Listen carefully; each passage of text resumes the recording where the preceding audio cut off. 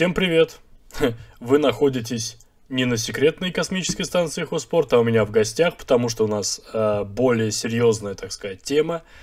Э, сегодня мы будем читать песню вторую. Данте, э, комедия «Ад». Э, перед тем, как мы начнем, я хочу вам сказать, что если вы вдруг э, не смотрели э, мою трансляцию на тему Беатричи, э, Лауры и Фьяметты, то есть о трех главных женщинах прото-ренессанса, рекомендую посмотреть, потому что сегодня в этой песне наконец появится Беатрич, так сказать, лицом. Она будет названа, а как известно в поэзии и в прозе, то, что названо, то есть, то существует. И поэтому, возможно, э, данный ролик, он идет час с копейками, там час 10, по-моему, час 15, Э, поможет вам лучше понимать контекст, потому что отношения между Данте и Беатриче были довольно специфичными. Э, и вам, я думаю, будет полезно о них узнать, потому что э, существует определенная романтизированная версия их отношений, так вот она не совсем справедлива. Куда, наверное, справедливей комплексное понимание их взаимоотношений, потому что Беатрича была не просто возлюбленной Данте платонической, она была еще его соседкой, была девушкой, которая буквально всю свою жизнь находилась на его глазах, он за ней буквально следил в каком-то смысле, хотя и не подходил особо близко. В общем, э, их взаимоотношения были довольно сложными, как и взаимоотношения их семей, потому что они были, еще раз, соседями, но у них, по всей видимости, был разный социальный статус. По крайней мере, именно это угадывается в том, что Данте всегда использует, например, слово «куртуазное» в отношении Беатричи, по крайней мере, до тех пор, пока он ее не превознес в... на совершенно религиозный уровень, скажем так. как бы то ни было, давайте с вами зачитаем песню вторую сперва, а потом о ней немного поговорим, хотя Признаться честно, она несколько проще, чем первая песня. Э, она в большей степени сюжетна, нежели философская.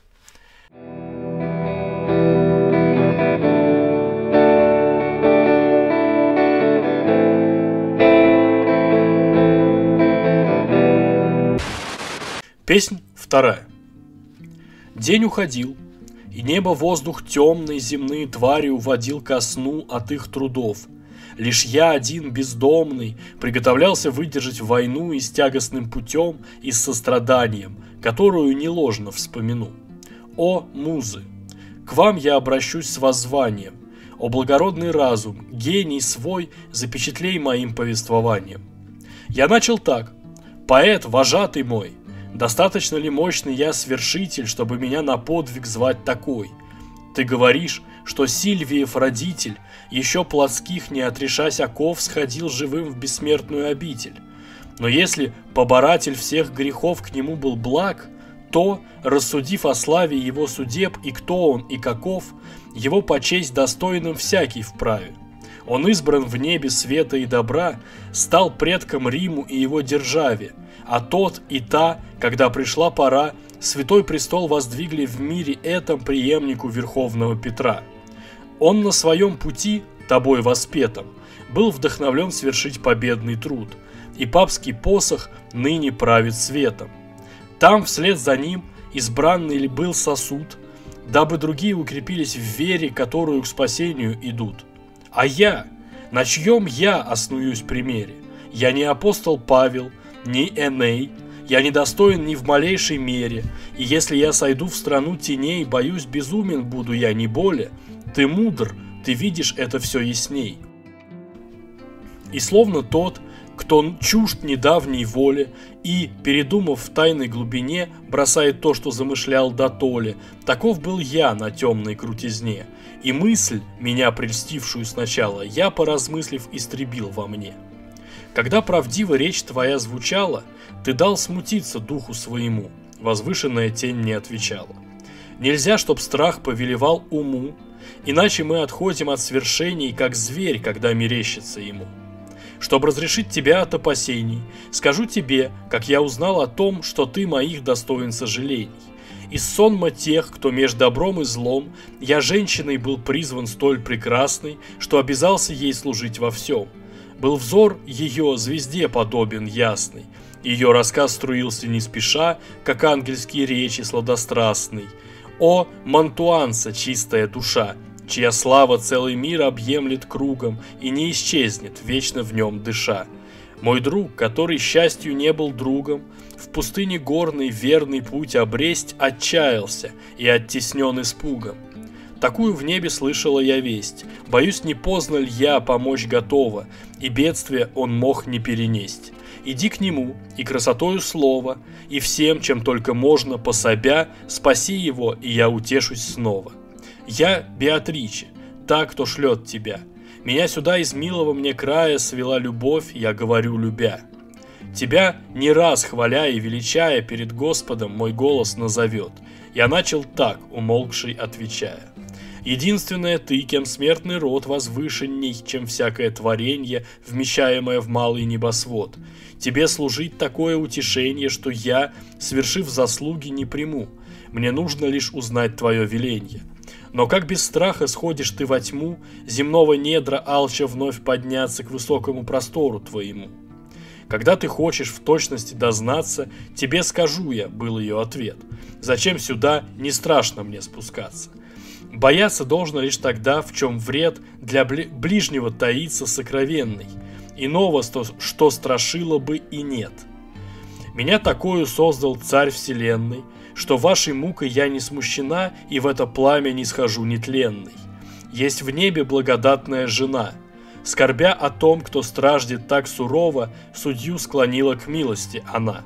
Потом ключи обратила слово и молвила, твой верный в путах зла – пошли ему пособника благого. Лючия, враг жестоких, подошла ко мне, сидевшей с древнюю Рахилью, сказать «Господня, чистая хвала, о, Беатриче, помоги усилию того, кто из любви к тебе возвысился над повседневной былью». Или не внемлешь ты его мольбе? Не видишь, как поток грознее моря уносит изнемогшего в борьбе? Никто поспешнее не бежал от горя и не стремился к радости быстрей, чем я, такому слову сердце вторя. Сошла сюда с блаженных ступеней, твоей вверяясь речи достохвальной, дарящей честь тебе и внявшим ей. Так молвила, и взор ее печальный, вверх обратясь сквозь слезы, мне светил и торопил меня к дороге дальней. Покорный ей к тебе я поспешил – от зверя спас тебя, когда к вершине короткий путь тебе он преградил. Так что ж, зачем, зачем ты медлишь ныне? Зачем постыдной робостью смущен? Зачем не светил смелую гордыней? Когда у трех благословенных жен ты в небесах обрел слова защиты, и дивный путь тебе предвозвещен. Как дольный цвет, сомкнутый и побитый, ночным морозом чуть блеснет заря, возносится на стебле, весь раскрытый. Так я воспрянул, мужеством горя.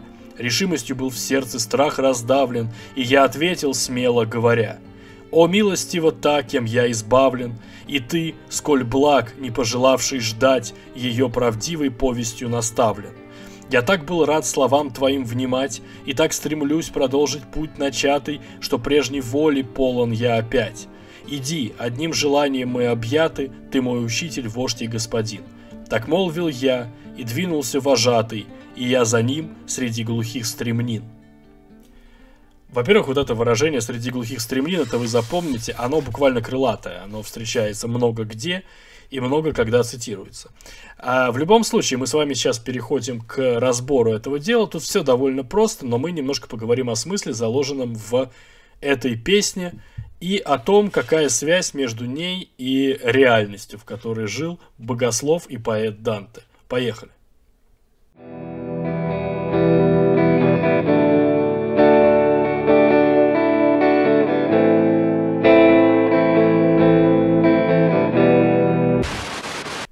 Итак, немного вам объясню. Значит, у меня на мониторе передо мной нахожусь тупо я. Хм, там ничего нет, я туда смотрю просто для того, чтобы видеть, как я выгляжу.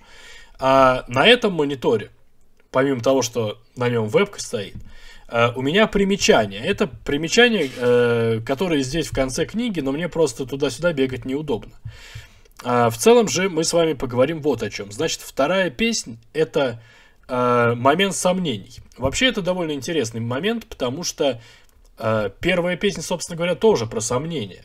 Там главный герой Данте попадает в лес сомнений и грехов, да, а здесь он продолжает испытывать сомнения, хотя у него появился вожатый, который его из этого леса вытаскивает.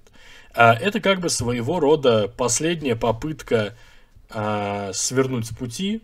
В дальнейшем он уже таких попыток буквально принимать не будет предпринимать. А, значит, он спрашивает у Вергилия Данте, а, достоин ли он того, чтобы спуститься в ад и вернуться оттуда целым и невредимым. А, в процессе этих вопросов он а, приводит в пример а, некоторых персонажей исторических и, и мифических. К примеру, он упоминает Сильвиев родитель, еще плотских не отрешась оков, сходил живым в бессмертную обитель. Кто такой Сильвиев родитель? Сильвиев родитель это, свое, э, само собой, Эней, который спускался в ад. А, кстати, его спуск в ад описал именно Вергилий, э, что как бы очень удобно в данном случае получилось. Не уверен, что исключительно ради этой фразы был выбран Вергилий. Думаю, что Данте испытывал к нему личную привязанность, э, к Вергилию, как к поэту. Э, языческому поэту, обратите внимание. Но в любом случае, э, это Эней, который спустился в ад, где была тень его отца. Э, соответственно, Сильвиев э, родитель это Эней, а у Энея отец Энхис, э, к которому он, собственно, в ад и спускался. Э, там Эней, как бы это сказать, приобрел от Анхиза э, своего рода приказ. Приказ э, или наказ, наставление создать новую страну, буквально Рим. Э, и, соответственно, здесь Данте пишет, стал предком Риму и его державе. И, соответственно, э, эта держава, в которой Святой Престол воздвигли в мире этом преемнику Верховного Петра. Э, апостола Петра, преемника, соответственно, Папа Римский. Само собой. Потом он вопрошает, значит, я не апостол Павел, не Эней.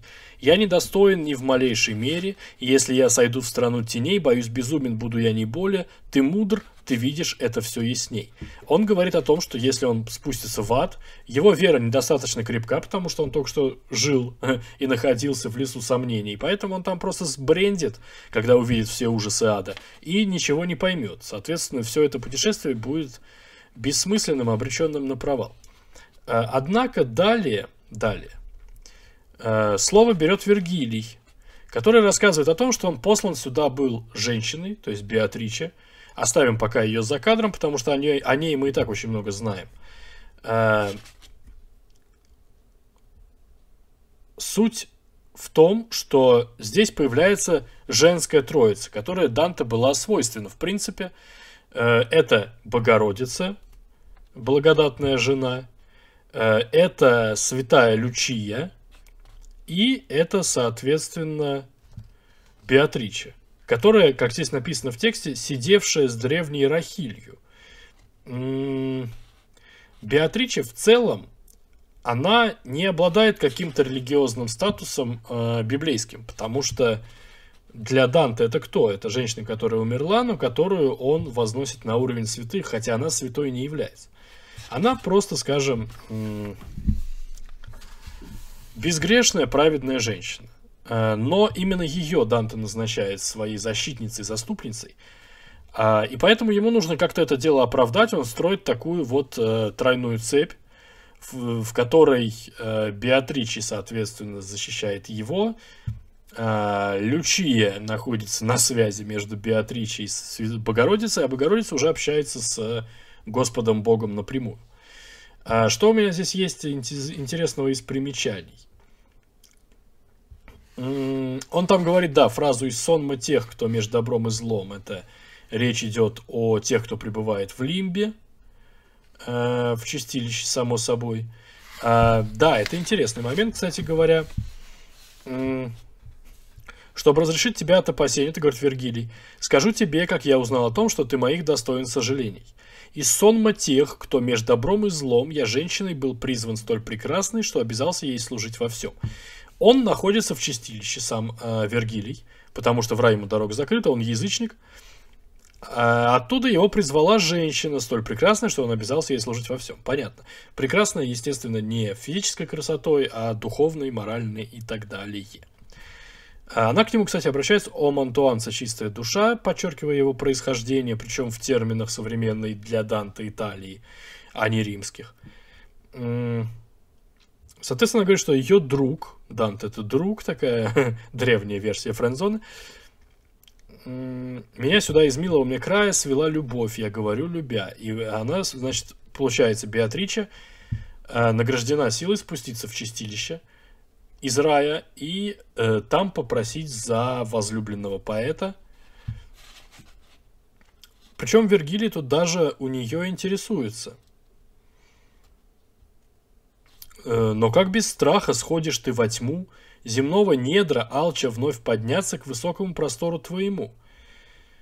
Получается, что э, вообще это нарушение правил.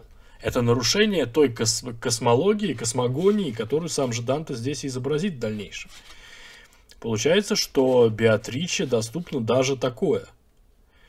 Э, она тут говорит, бояться должно лишь того, в чем вред для ближнего таится сокровенный – Иного, что страшило бы, и нет. Нет ничего страшнее, чем вред, который мы наносим другим людям. Вред, который мы можем нанести себе, не страшен. Это самопожертвование, это основа самопожертвования, в данном случае ради поэта. Меня такую создал царь вселенной, что ваш, вашей мукой я не смущена, и в, этом, в это пламя не схожу нетленной. То есть э, ее это пламя не берет.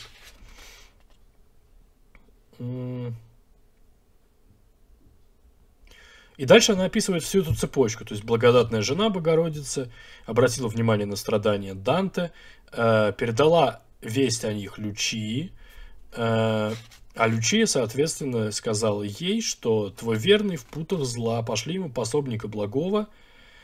Э, Господня чистая хвала, у Беатричи помоги усилию того, который из любви к тебе возвысился над повседневной былью. Обратите внимание, Основной э, положительной чертой Данте для Лючии, по крайней мере, а скорее всего для Богородицы и для самого Господа Бога, является то, что он возвысился над бы бытовой жизнью, стал выше всего этого дела, э, то есть в своем поэтическом азарте дошел до э, ог, ну, потрясающих высот э, и буквально стал достоин того, что ради него одна дама из рая спускается в чистилище, а две другие дамы повыше ей помогают. Насчет э, Лючии. Это отдельная тема, которую, я думаю, нужно знать. Э, Лючия играет важную роль, она посредник между Богородицей, как я уже говорил, и Беатриче. И именно э, ее Данте выбрал по причинам довольно странным. Дело в том, что сам Данте всю жизнь жаловался на зрение. У него было плохое зрение, он из-за этого мучился очень сильно, э, это мешало ему, собственно говоря, писать.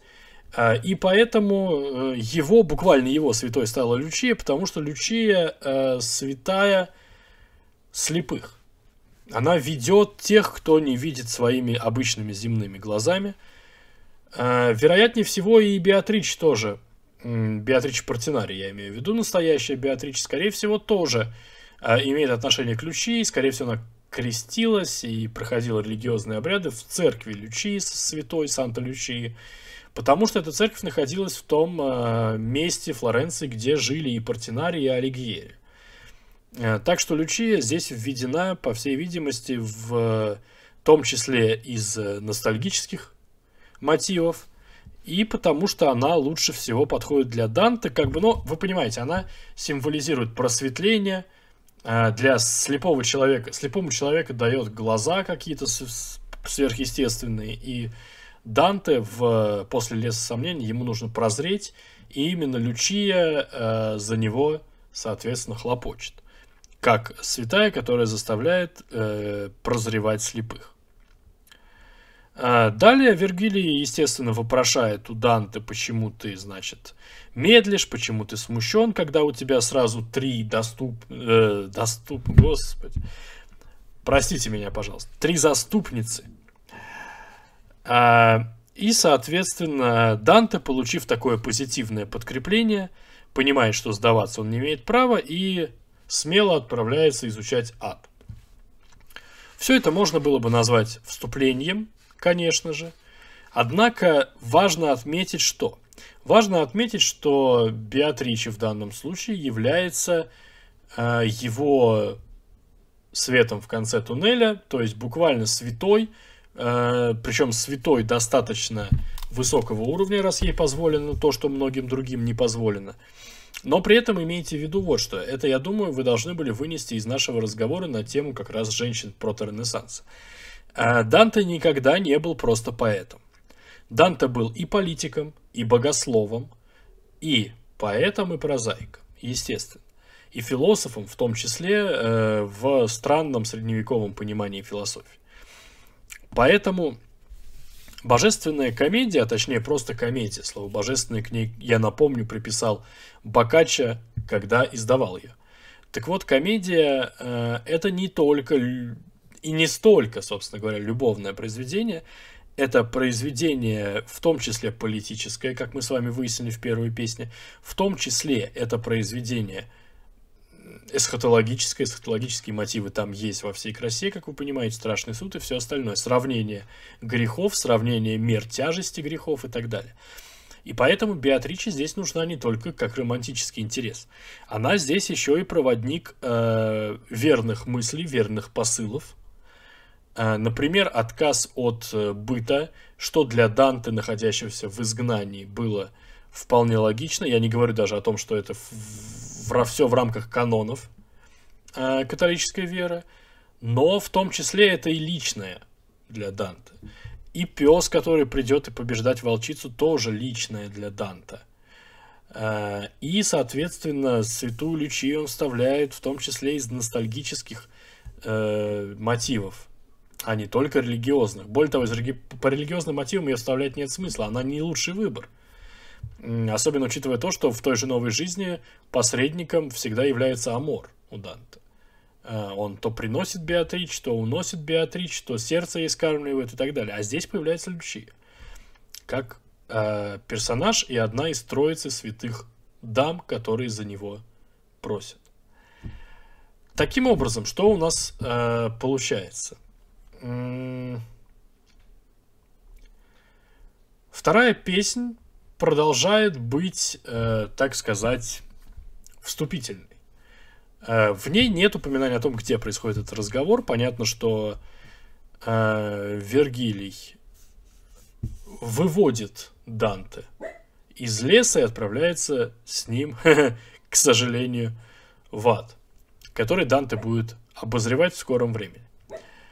На этом мы с вами на сегодня попрощаемся. Э, встретимся в следующий раз. Начнем читать третью песнь. Пока что все. Потому что, собственно говоря, больше здесь, э, насколько я помню, нечего. А, вот, кстати, небольшой... Так, небольшая сноска, которую я хотел рассказать и забыл о ней. Малый небосвод там упоминает Вергилий. Речь идет о небе Луны э, небо, небо Луны это как бы э, малый небосвод, ближайшее к Земле тело. Э, и исходя из той концепции космоса, которая тогда была, это самый центр Вселенной, малый небосвод.